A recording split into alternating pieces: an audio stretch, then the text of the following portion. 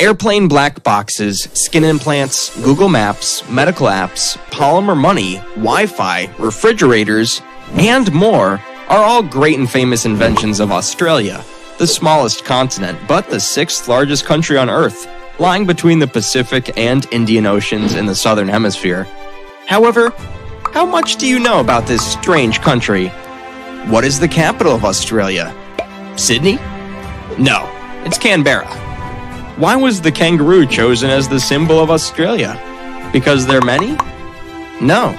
That's because kangaroos are animals that can't walk backward. With that vision in mind, Australia has moved forward over the past decade. But before it achieved what it is today, Australia went through a tumultuous historical period with millions of years in the making.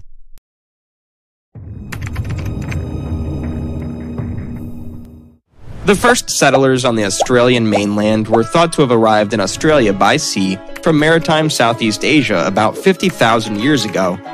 These original inhabitants, who have descendants to this day, are known as the Aborigines people. The Aborigines, often referred to as nomadic hunter-gatherers and fire-stick farmers, settled primarily in the well-watered coastal areas. They cultivated and irrigated farming areas, established fisheries, built permanent homes, and formed approximately 250 distinct language groups. However, it was believed that Aborigines' poor treatment of the environment over many centuries may have led to the barren nature of much of the Australian interior. Therefore, the population only grew proportionately quicker around 10,000 years ago as the arid climate improved.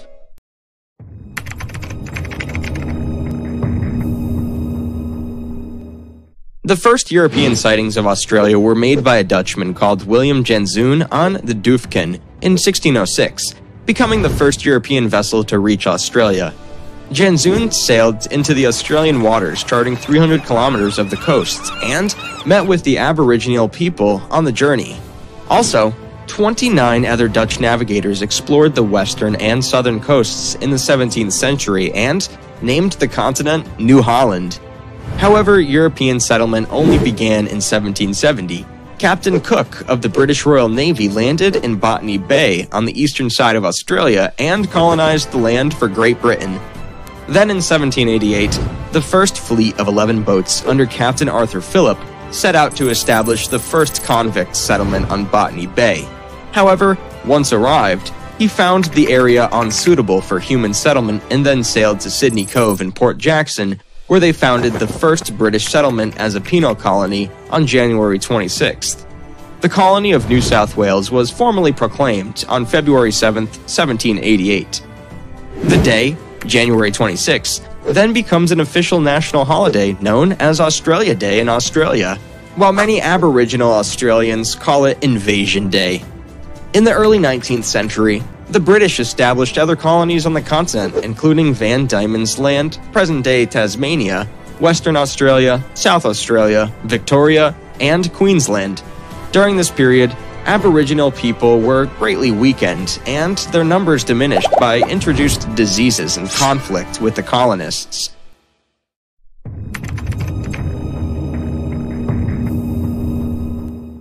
In 1851, Gold was discovered in Bathurst, New South Wales, a city approximately 210 kilometers west of Sydney, and soon in the colony of Victoria, kickstarting the Australian economy and making the continent a desirable location. During the era, Victoria produced more than one third of the world's gold, dominating the world's gold output. Most Australian gold was exported to Britain, which used it to maintain a gold standard for the pound. A series of gold rushes led to a huge influx of people from overseas, causing Australia's total population to triple from 430,000 in 1851 to 1.7 million in 1871. These newcomers originated from continental Europe, China, and, to a lesser degree, the United States, New Zealand, and the South Pacific. The increasing population brought about the development of agriculture, transportation, and industry in South Australia, New South Wales, and Victoria to meet the demand of a large amount of population.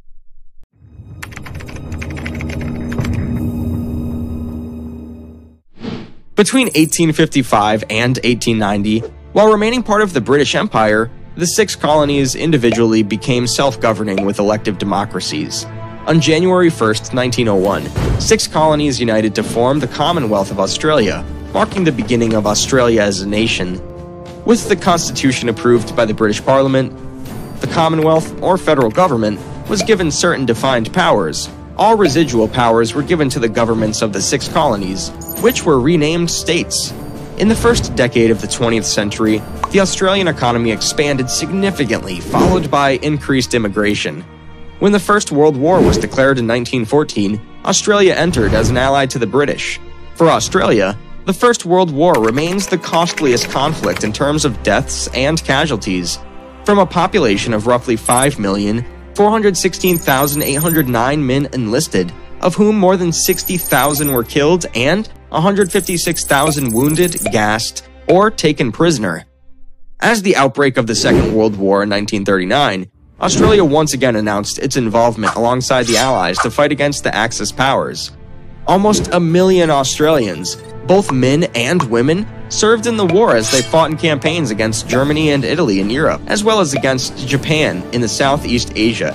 The Australian mainland came under direct attack for the first time, as Japanese aircraft bombed towns in northwest Australia, and Japanese midget submarines attacked Sydney Harbour. Over 30,000 Australian servicemen were taken prisoner in World War II, and 39,000 were killed. While those who became prisoners of the Germans had a strong chance of returning home at the end of the war, 36% of prisoners of the Japanese died in captivity.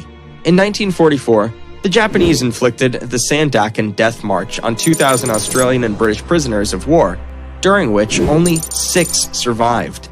This was the single worst war crime perpetrated against Australians in war.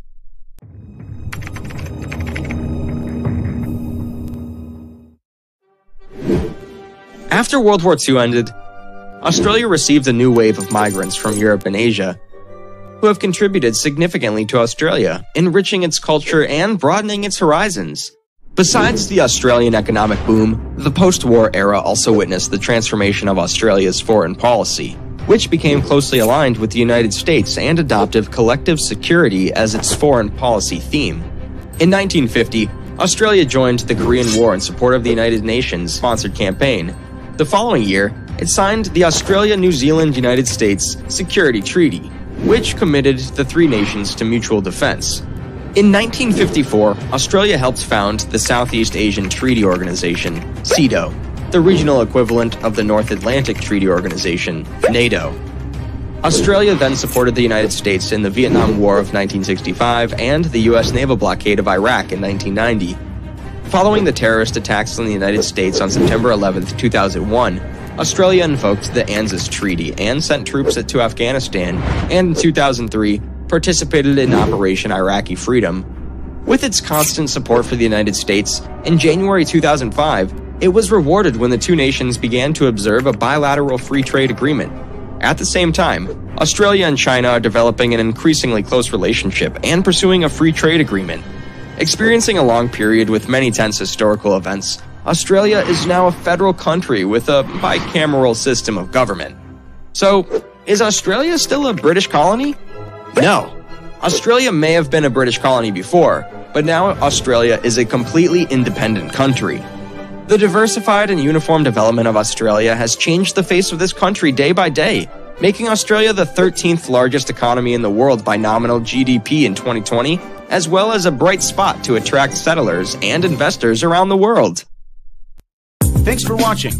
Don't forget to subscribe to our channel for more videos of history.